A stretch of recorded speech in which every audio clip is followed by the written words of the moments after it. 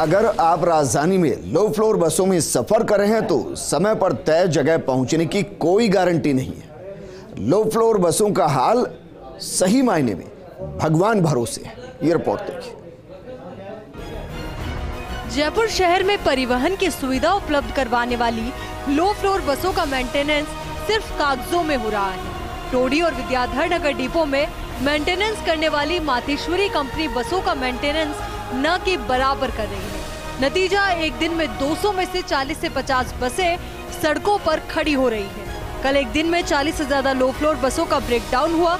जैसे टीएसएल प्रबंधन हर महीने बसों के मेंटेनेंस पर काफ़ी राशि खर्च कर रहा है।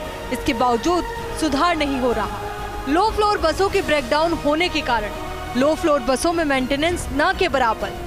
टोडी और विद्याधर नगर डिपो से चलने वाली बसें खस्ताहाल बसों में लगाए लो क्वालिटी के टायर, समय पर धुलाई नहीं होती। बसों में वायरिंग सीधा होने के कारण आग लगने की आशंका बनी रहती है। कई बसों के कांच और स्क्रीन वाइपर टूटे। सड़क पर चलते वक्त अचानक बस रुक जाती है। 200 लो फ्लोर बसों में से हर रोज 40 से 50 बसें हो रही खराब। मातेश्वरी कंपनी की लापरवाही उजागर। जेसीटीएसएल के अधिकारियों की उदासीनता आई सामने। अधिकारी बिना वेरीफाई किए कर रहे लाखों रुपए का भुगतान।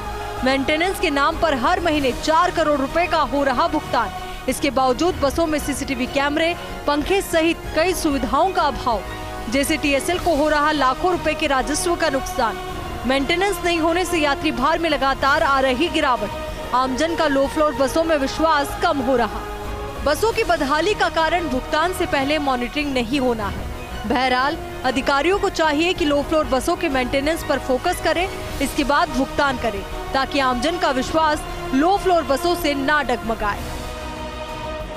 जयपुर में पब्लिक ट्रांसपोर्ट की हालत हर दिन बद से बदतर होती जा रही है, लेकिन हैरानी की बात यह है कि जिम्मेदार अधिकारियों के कान पर जू नहीं रेंग रही। जयपुर में चलने वाली लो फ्लोर बस कब, कहाँ और कैसे ख़राब हो जाए ब्रेक डाउन हो जाए, कोई नहीं जानता लेकिन इसके बावजूद बसों की हालत सही करने के लिए अधिकारी कोई खास प्रयास नहीं कर रहे हैं।